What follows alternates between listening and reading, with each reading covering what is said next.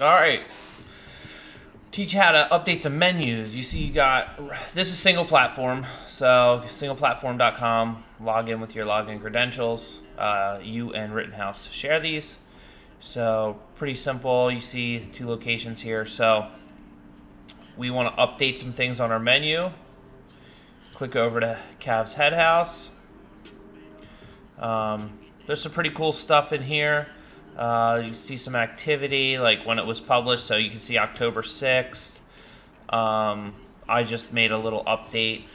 Uh, September 9th, there were some updates made. Um, 32 people used your menus in September. So, let's just jump right into menus. So, menus, right? So you can do your main menu, beer list, cocktail list. Uh, these are the three that are published right now. These are not being used. So we're going to update the beer list. Right there you can see uh, drafts, right? So now one thing I notice is, you know, this is capitalized and this isn't. So maybe that's something I'm going to update right away.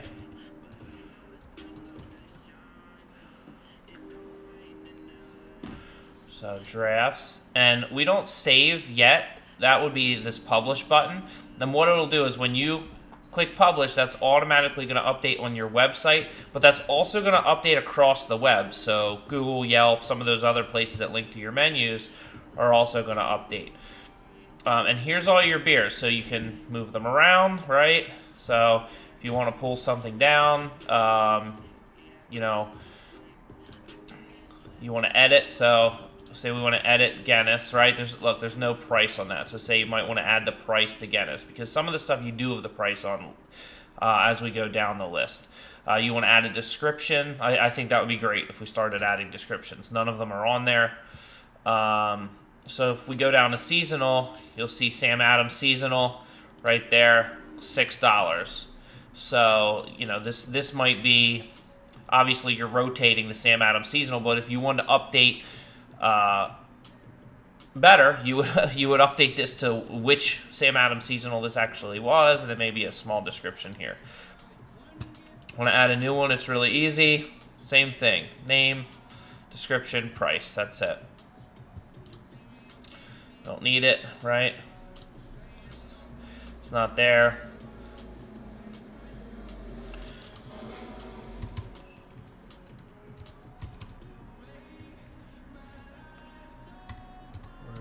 Stouts.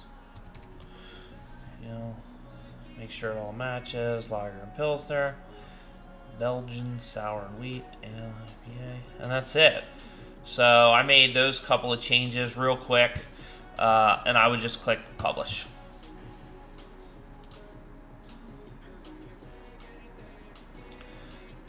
And that's it. It's published. So let's see if it updated on the website. Sometimes it takes a couple minutes, but it could be up there. Click menus, beer list. You know, yeah, everything's capitalized now, so you see that those were changed. So, yeah, really easy to go in and just make these changes. You might want to give these some prices. Um, you could your descriptions would file in right underneath here. Um, but you know you probably want to give them all descriptions if you're going to do that. Uh, might not be the worst idea. People love knowing the ABV of beers, so like adding your ABVs in the description would would probably be pretty awesome.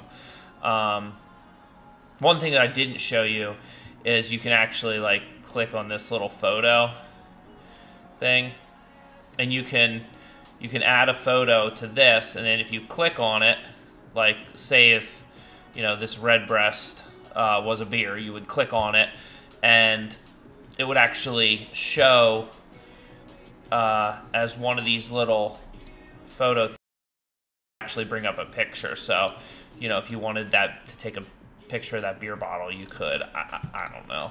You could also do this for everything else on the website too. So if you have more pictures of some of this food and you want to fill them in, you know, you can do that. I would suggest it.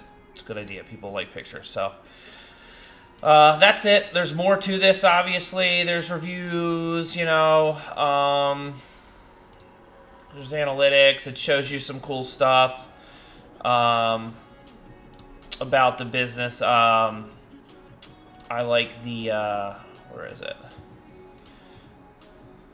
I like these over here, schedule an announcement, you know, you can see what's coming up. Maybe you want to do a pumpkin beer on pumpkin day.